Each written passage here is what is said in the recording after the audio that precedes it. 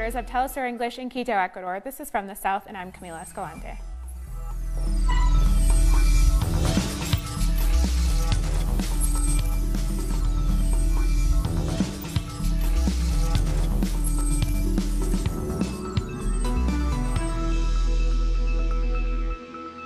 Prime Minister Roosevelt Skerrit has been sworn in for a new term following his party's sweeping win in Friday's general election.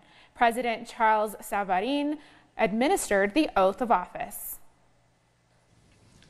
I, Roosevelt Skerrit, do swear I, Roosevelt Skerrit, do swear that I will fulfill, I will faithfully execute I will, that I will faithfully execute the office of Prime Minister the office of Prime Minister without fear or favor, without fear or favor, affection or ill will, affection or ill will, and that in the execution of the functions of that office, and that in the execution of the functions of that office, I will honor, uphold, and preserve I will honor, uphold, and preserve the Constitution of the Commonwealth of Dominica. the Constitution of the Commonwealth of Dominica. So help me God. So help me God. The spokesperson for the Commonwealth Election Observers Mission commended the government of Dominica for holding free and fair elections in accordance with the law. It is our considered view that the results reflect the collective will of the people who voted and that the 6th December election was conducted in accordance with the laws of Dominica. We commend and congratulate all Dominicans who participated peacefully in an important civic exercise. We also congratulate the election authorities and polling staff, the political parties, the police forces, and party agents for their respective roles in ensuring the success of the electoral process. But the island's opposition was not ready to accept Friday's results or their confirmation by the Organization of American States. During the OAS press conference, opposition members continued to question the validity of the electoral system. Prime Minister Skerrit declared his victory during a late evening address to the nation, but appealed to the Labour Party and supporters to hold off on celebrations and instead take the time to pray and reflect, postponing celebrations for one week.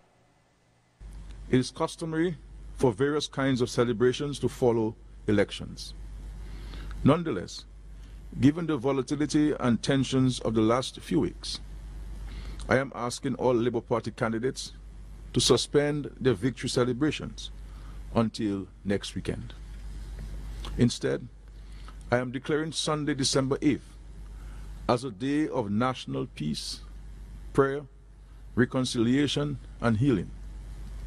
I am asking for all churches to hold services at 10 o'clock in the morning so that the entire country would be praying at the same time. Bolivia's movement towards socialism, a political instrument for the sovereignty of the People's Party, held a Congress of delegates from all departments of Bolivia with representation from indigenous and campesino social movements, which make up the MAS in the city of Cochabamba. The event included participation of leaders of the Cocalero region and other political leaders. They've discussed strategies to confront the coup and how to move forward with the process of change. Official candidates for the upcoming election were not named on Saturday. However, Evo Morales made a phone call in which he said to draw up shortlists to be taken for debate within the social movements. I think that today we are going to define the beginning of the line of struggle to maintain this process at the head of all the Bolivian people with that slogan that we are seeing a de facto coup and dictatorial government. I think it's important to ratify the strength of the Bolivian people. Evo Morales sent his love to the Congress, saying he's appreciative of the confidence of the Congress having appointed him as campaign manager for the MAS. He said, quote, we will choose a unitary candidate and again we will win the elections in the first round. Thank you for not abandoning me. I will always be with you. Together we will continue to make history as we have won up until now. The incoming president of Argentina, Alberto Fernandez, has said that his administration cannot recognize Bolivia's de facto government, adding that for Argentina, Bolivia has no president until democratic elections are held. For us, Bolivia has no government until Bolivian citizens vote in democratic elections. It's as simple as that. A de facto government is not a government. So until Bolivians vote, they don't have a president we can recognize. Two more indigenous Brazilians from the Guajajaras people have been killed in the village of El Betel by unknown gunmen. A car reportedly drove past and someone inside shot at the two men who were on a motorcycle. They were returning from a meeting on the defense of their rights. These latest killings are suspected to have been carried out by illegal loggers who have previously targeted forest keepers in the area. Residents have placed much of the blame for these attacks on far right President Jair Bolsonaro and his anti indigenous rhetoric. A group of indigenous activists from Brazil protested outside of the headquarters of an oil company in Spain responsible for a recent oil spill. The protesters performed chants and danced outside of Repsol's headquarters to highlight the issue. They also raised concerns about the rise in killings of indigenous people and pointed out that transnational companies investing in South America contribute to the violence. It is a very sad moment because every day in Brazil and in South America we see the killings of indigenous leaders. These are people that are fighting to defend their land, to defend their lives with dignity, for the coming generations and for the children. And because of big companies, oil companies, dams, loggers, the agribusiness, mining companies, who have been investing strongly in South America. This has been contributing to what happened yesterday with the killing of two leaders from the Guajajara people and many others indigenous leaders. Every day these indigenous people are murdered in South America. Chile's government is currently going through its worst crisis as social upheaval has gripped the nation for over 50 days. As people continue to protest inequality and police brutality, international bodies have confirmed that recent human rights violations by the state justify a trial against President Piñera. Friday, December 6 marked 50 days since massive popular mobilization started in Chile. In this time, citizens have faced head-on the government's repressive actions. Piñera declared war on us a few weeks back. They have criminalized us. They have tried to keep us quiet, to make us invisible. But as a people, we continue our fight because we have a right to protest. Civil disobedience is a human right when facing such a repressive and violent government. After seven weeks of mass mobilizations, the government took political initiative to try and quell protests, despite the fact that President Sebastián Piñera holds a mere 4.6 approval rating among citizens. On top of this, he is facing a possible impeachment trial due to his involvement in the violation of citizens' human rights. We think it's an ethical duty that he be impeached. If you ask people on the street, everyone agrees with this. We know that we could lose in Congress, but ethically, the people will win because we will have upheld our own human rights. A recent report by the Inter-American Commission for Human Rights expressed concern for the unchecked use of force by security forces. So far, there's been 26 deaths, over 12,000 injured, and close to 30,000 arrested. On top of these numbers, 350 people have lost an eye as a result of police brutality. We have pointed out that there have been grave human rights violations. We cannot say these are mild abuses. Mobilizations continue as the debate over the creation of a constituent assembly is overshadowed by the government's security agenda. Things haven't changed since protests began because this government has chosen to criminalize us and ignore our demands about the social reforms we want to see. The people want a solution to this crisis. We've made that clear over the past 50 days. We have remained together. We are helping each other. We are seeing the things we have in common. This is a historic moment as everyone in Chile is coming together. I have been out here every Friday since the protests began because we cannot give up the streets. And this is what they do, week after week. Despite police repression, with their will and their hopes placed on changing Chile for the better. We'll take a short break now. Join us again in a minute.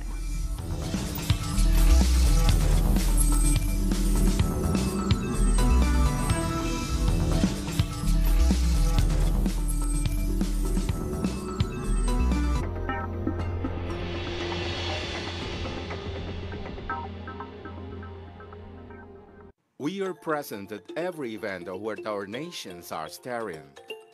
We believe in a new global vision, united in every broadcasting.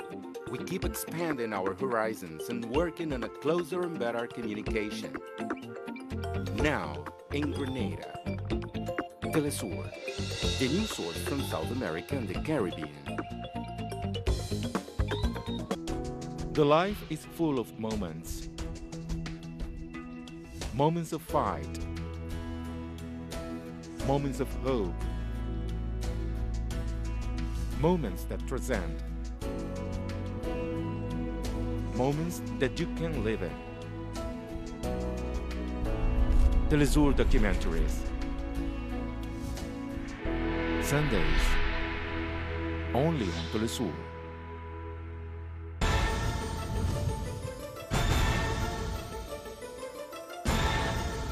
Who's moving the chessmen? What interests and motivate the actors behind each event? The board is deployed. Critical move. Investigates every event from Monday to Friday. Only on Telesur. The Pakistani journalist Tariq Ali examines the mass media influence promoted by imperialism. Get access to the analysis of the socio-economic and political life of the whole South America on our screen and platform in English. A critical place committed to the truth to determine the major events that transform the world today. Mondays. Only on Telesur.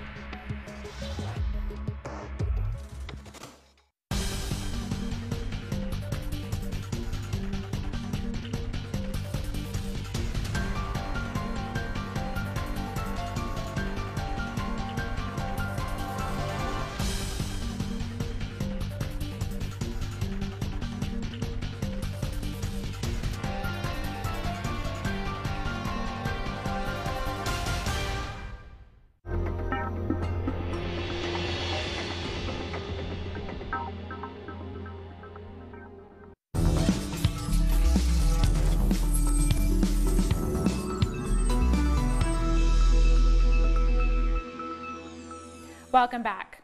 200,000 Rwandan citizens are set to be vaccinated against the Ebola virus.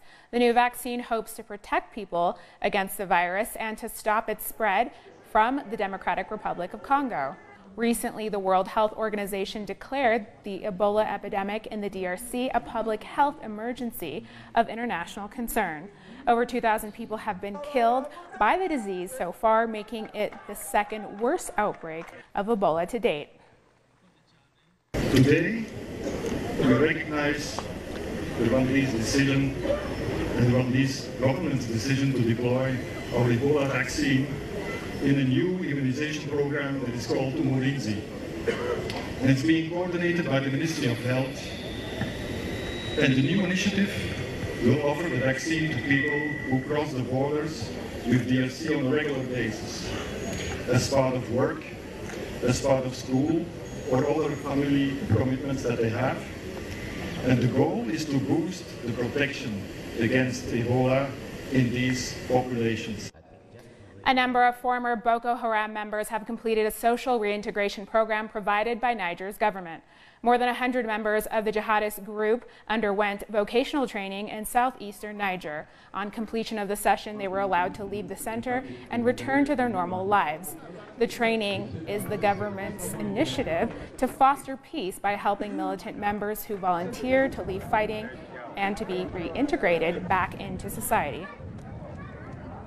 I would now like to start by apologizing to my family and all those who were victims of Boko Haram atrocities, all those who were harmed, and apologize to everyone in Niger and Africa. The jailed brother of former Algerian President Abdelaziz Bouteflika appeared in court as a witness in a corruption trial involving millions of dollars. A number of businessmen and former government officials are currently facing charges of corruption following a popular uprising earlier this year against the political class. Said Bouteflika, along with several other high-level officials, were sentenced to 15 years in jail for conspiring against the state. The U.S. government has dropped its case against Grayzone editor Max Blumenthal and member of the Embassy Protection Collective Benjamin Rubenstein. The case rested on an accusation by Venezuelan opposition activists who claimed that Max and Ben assaulted her while they were delivering food to Venezuela's embassy in Washington, D.C. Here to tell us the rest is Max Blumenthal. Thanks for sharing the airwaves with us today. Thanks for having me on. So your charges got dropped. Sum up for us, if you can, how you went from the arrest on assault charges to a dropped case. Yeah, I mean, my charges were dropped, but not before I spent two days in jail in very agonizing circumstances and was close to having to pay thousands and thousands of dollars out of my own pocket to muster up a legal defense. And this is part of a pattern of the right wing Venezuelan opposition in Washington, whose leadership is directly being paid by the US government, uh, targeting their political opponents using law enforcement as a weapon. We saw this happen recently to Code Pink founder Medea Benjamin, who was almost hauled out of her house on the basis of false charges by Carlos Vecchio, the fake ambassador of Juan Guaido's uh, minions, falsely accusing her of assault. So the government obviously judged that it had no case against me. Um, I guess they didn't want to go to trial. But one of the most interesting things we've learned is that on the night of the alleged incident, uh, where this false accusation is derived from, the Secret Service call logs have disappeared. Pretty much all recordings that the Secret Service made at that time have mysteriously disappeared. So uh, raises a lot of questions about the disappearance of evidence and the collusion between the Secret Service police who are outside the embassy and this violent right wing Venezuelan mob of opposition hooligans. So, what I've observed is that within Nicaragua, Bolivia, and Venezuela, if you commit yourself to counter hegemonic English language reporting, and now with a growing reach within the United States left, it doesn't take long before you get noticed by the right wing. So, to what extent do you think the Venezuelan right identified yourself as a problem and actually conspired against you and others there? Oh, it's, it's absolutely the case uh, because uh, Benjamin Rubenstein and I were among 20 people non-violently delivering food and sanitary supplies to the Venezuelan embassy. I was also documenting it as a journalist on the night of May 8th. And just because I happened to be identified, they chose to target me because I'm one of the most prominent journalists poking holes in the opposition's narrative, along with my colleagues at the Grayzone. And actually, our colleague Wyatt Reed was recently at an event uh, where Carlos Vecchio and members of Congress did a press conference. His phone was stolen while he was recording by a member of the Venezuelan opposition working for Carlos Vecchio. And then he was taunted when he demanded his phone back. You're going to wind up like Max Blumenthal and Benjamin Rubenstein. So it's obvious they were targeting us. This is about intimidating people who oppose these US backed right wing opposition movements. And we should consider the record in their own countries of these opposition movements. For example, the right wing Nicaraguan opposition burning down the offices of Radio Ya last year because they didn't like what they were broadcasting. Okay, so I don't know how much you watch Spanish language news, but Fernando del Rincon and Jorge Ramos over at CNN Espanol and Univision love to talk about freedom of expression and press freedom. Do you think they or the followers of these right wing activists of the bourgeois media care about your right to carry out your work? Well, I'm sure they were happy when I was arrested, and I'm right in the middle of a long Twitter thread exposing everyone uh, blue checkmark pundits, prominent pro regime change pundits in the US and the West who celebrated my arrest, who insisted that I was guilty before being proven innocent and took the side of the cops. But uh, as for Jorge Ramos and the kind of journalistic press freedom organizations that honor him, or the Committee to Protect Journalists, which recently honored uh, Miguel Mora, the uh, head of Cien por Ciento Noticias in Nicaragua, who told me on the record that he wanted a military intervention in Nicaragua to remove Daniel Ortega.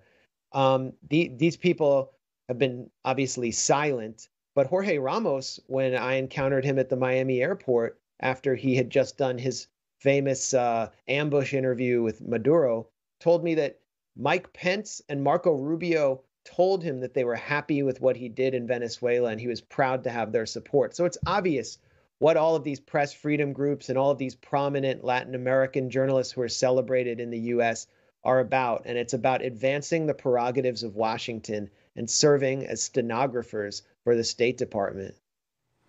Okay, so a lot of online trolls of people like you or I often have this line about how this or that authoritarian is paying us to defend their government practices. In terms of funding, I don't think the Grayzone or Telesur English is anywhere on the map in terms of funding and resources compared with Univision and other mainstream outlets which dare to cover Latin America. Marco Rubio's uh, media friends make exponentially more than I think we'll ever see carrying out their role in the information war, and yet they don't come under the same scrutiny. Do you think the American people still not know how the corporate media works?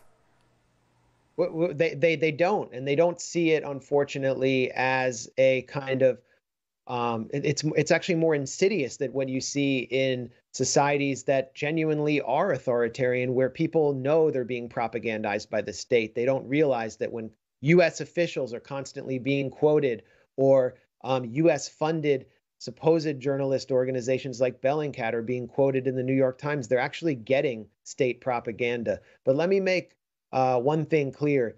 The Grayzone is not state funded. When we go down to Venezuela or Nicaragua to give voice to the people that are under the imperial gun, we are not taking state funding or resources in any way. Uh, and I'm here in complete solidarity with Telesur, which is under attack uh, many people there are basically having to wait months and months and months for paychecks because of U.S. sanctions. Um, these are this is the kind of journalism we should celebrate. Telesur was created to finally have a socialist-oriented network in an environment that's completely dominated by right-wing private media serving the agenda of multinational corporations and the United States. So we need to stand up for Telesur and for independent media and we're all in this together. We're all under the same attack. Awesome. And so let's talk about sending people down here to cover things on the ground in Latin America. You have a correspondent or you have someone working with you in the Grayzone, at the Grayzone in Bolivia right now. Why did you prioritize that and what are some of the things you're trying to cover there? Well, you know, the, the, the Guardian and the New York Times editorialized in support of the coup in Bolivia and even denied it was a coup. Uh, we saw Ken Roth, the president for life of Human Rights Watch, uh, declare that Morales had cooed himself and supported it. This is supposed to be a human rights organization. So you have basically radio silence on the wave of right wing terror being carried out by Jeanine Áñez's minions and a right wing military junta. And so Wyatt Reed is down there on a shoestring in Bolivia. And I know you were there as well, Camila. And there are a few other um, really solid independent reporters to show the other side. Um, and I think Wyatt has done some important reporting on what the few left wing journalists who are still trying to report against the tidal wave of pro government propaganda, how they are being disappeared, jailed, and hunted. Um, and we're, again, we're hearing nothing from the major press freedom organizations about the brave reporters at La, La Resistencia, for example. Yeah, great example with, uh, with that and other grassroots media there. One last question. You've been cleared of those Trump charges. Do you plan to take any legal action now against those who tried to persecute you? It's frightening that uh, someone from a uh, opposition movement that's backed by the United States government can level a false allegation and have police show up at the door of that person uh, simply because that person is a political opponent, someone they, whose politics they don't like. They can have that person jailed and prosecuted without any investigation by the police. So there needs to be some kind of recourse here. And I'm exploring what can be done to make sure that people can't accuse me or other uh, journalists like me or other activists uh, of you know things they didn't do and basically see them politically persecuted. There has to be some kind of recourse, so I'm exploring my options. Thank you so much, Max. We've been speaking to journalist and editor of The Grayzone, Max Blumenthal. We'll take a short break now. Join us again after this.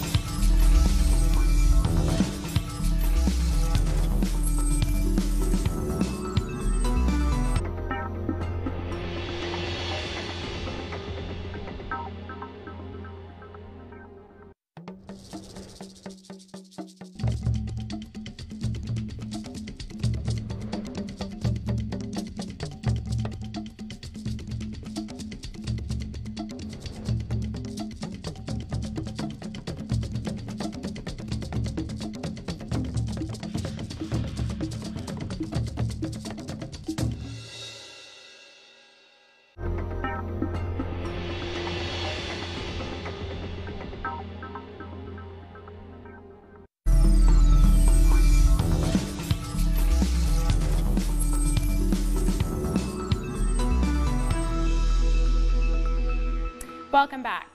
In Bolivia, a national congress of the Movement Towards Socialism Party held on Saturday named Evo Morales as the director of the MAS's electoral campaign.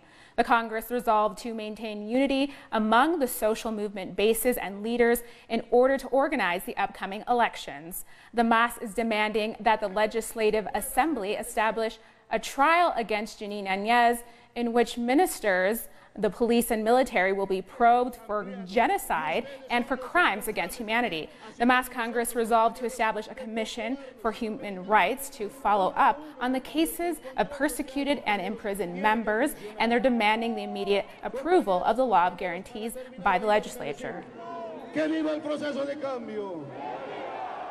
At least 17 people were killed overnight in Iraq's capital, Baghdad, as protests continue. The attack also left dozens wounded. Armed men in pickup trucks reportedly opened fire on a building where protesters had been camped out for weeks near the capital's Al Sinak Bridge. Anti government protests have been ongoing for two months in Iraq, leaving nearly 500 dead. The armed groups were in Al Khilani Square, and the governmental forces were armed and one kilometer away along with their divisions. However, they did not interfere. Australia continues to be affected by massive bushfires as the country braces for a heat wave expected early this week. The fighters, firefighters are working around the clock to try to put out some of the 140 blazes, some of which have already reached the capital, Sydney. Six people have been killed and more than 700 homes destroyed since the crisis began in September. We've come to the end of this news brief. You can find these and many other stories on our website at telesurenglish.net. And we're on social media, Facebook, Twitter, and Instagram. For Telesur English, I'm Camila Escalante. Thanks for watching.